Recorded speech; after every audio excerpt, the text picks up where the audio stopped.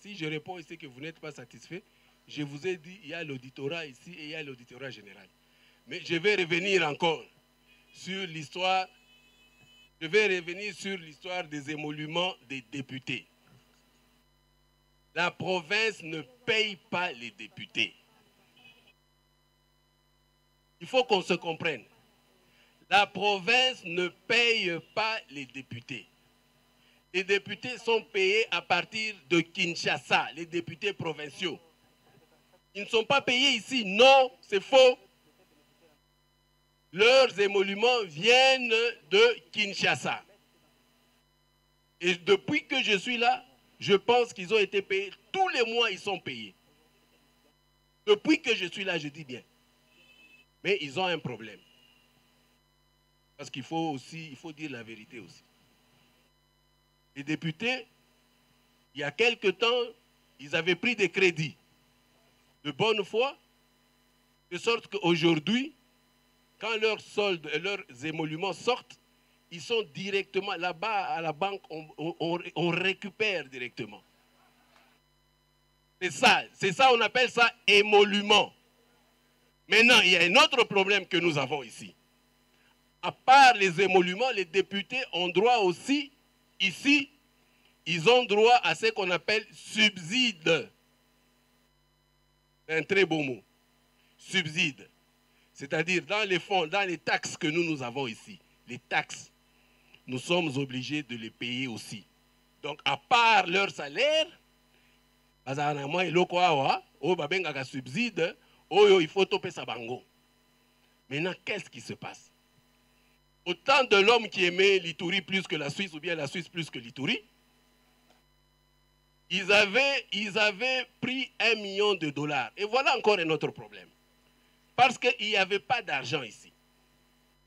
Écoutez-moi très bien. Vous avez voulu connaître toute la vérité, je vais vous la dire.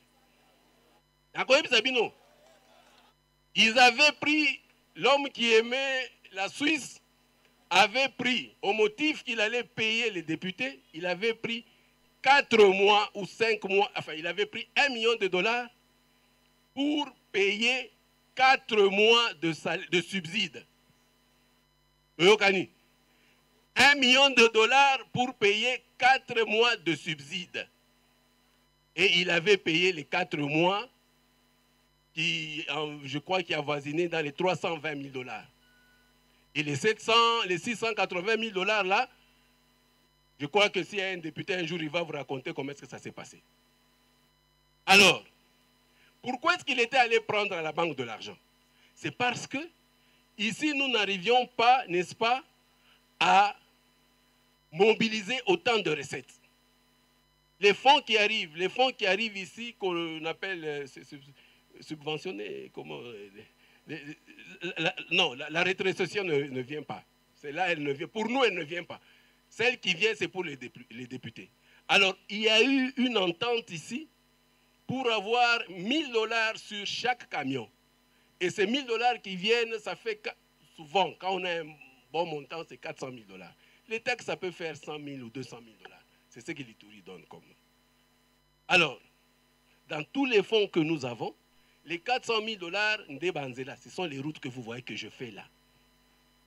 La RN27 qui était impraticable, euh, qui était impraticable, ce que j'ai fait ici, de l'autre côté, ici, à, l'avenue ici qui va à Nyakasanza, je pense, les petites réparations que vous voyez ici.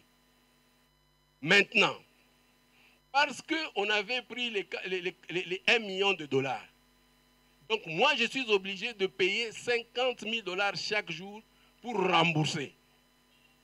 50 000 dollars, je paye chaque mois pour rembourser les 1 million là.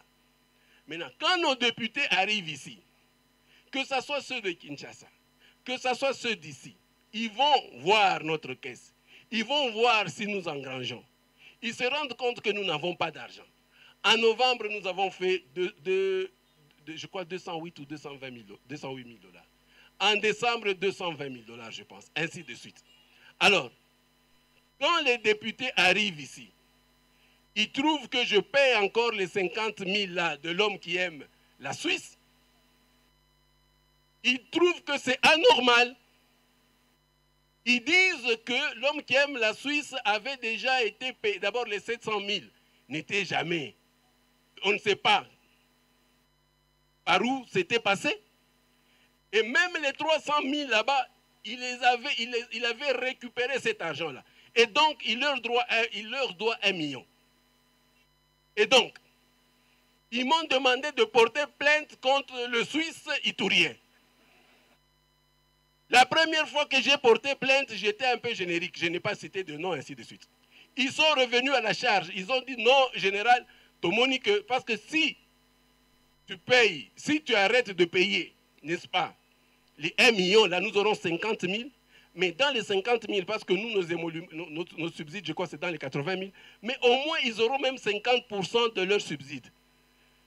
Mais c'est très difficile. J'ai fait encore une autre euh, plainte auprès de, l'auditeur qui est ici, l'auditeur supérieur, pour que l'homme de la Suisse rende les 1 million et que moi j'arrive à donner, n'est-ce pas, la subside de 50 000 dollars là. Donc que je puisse, n'est-ce pas, récupérer les 50 000 dollars pour payer et ce n'est pas possible. L'homme, il continue à faire ce qu'il fait, malheureusement, parce que ça, vous avez dit qu'on allait me remplacer, il nomme même maintenant des généraux, parce que c'est ce qui a fait le tour du monde. Tout le monde m'a appelé pour me dire, non, voilà, l'homme de la Suisse a, n'est-ce pas, nommé un général, et voilà, ça, ça a circulé, ça a circulé. Non. C'est lui qui nomme les généraux, c'est commandant suprême. C'est moi encore, qui suis encore le, gouverneur de la province. Et les 100 000, 1 million, je ne les ai jamais vus. Et je demande ici aujourd'hui encore aux députés, s'il vous plaît, il ne faut pas rester tout le temps, vous me mettez la pression, alors que vous pouvez venir. Venez matin, midi, soir, allez voir là, notre caisse là. Il n'y a rien. Même pour payer le personnel ici. Moi, je ne peux pas, alors que vous avez déjà vos émoluments, je ne peux pas vous, je veux vous payer, mais je ne peux pas vous payer prioritairement parce que d'abord, il faut d'abord payer, ne fût-ce que le salaire à ces fonctionnaires. Or, les fonctionnaires ici, pour avoir leur salaire, c'est déjà un problème. Mais vous, vous avez déjà votre, vos émoluments. Donc c'est quand j'ai fini, il faut que je finisse à payer les fonctionnaires ici, que je peux penser aussi à payer leurs subsides. Mais c'est toujours la pression. Bon, on va déformer les choses parce que, bon, je ne sais pas ce qu'ils pensent, mais c'est ça la vérité. Donc je le dis solennellement, moi je n'ai jamais voulu, euh, je ne sais pas moi, enfin oui, c'est l'argent de l'État que l'homme de la Suisse a pris, mais je demande aux députés là, qu'ils continuent de la même façon qu'ils crient, au lieu de crier sur moi, sur leur subside, qu'ils crient sur le Suisse. Il est là, il est à Kinshasa. Tout le monde le connaît. Le million de dollars, là, vous venez chaque jour ici, non, remettez-nous le million, le million pour que... Mais moi, je, je vais les trouver où? Moi, j'ai déjà déposé la plainte en votre nom. Et c'est ça la vérité, vous le savez. On en parle chaque jour.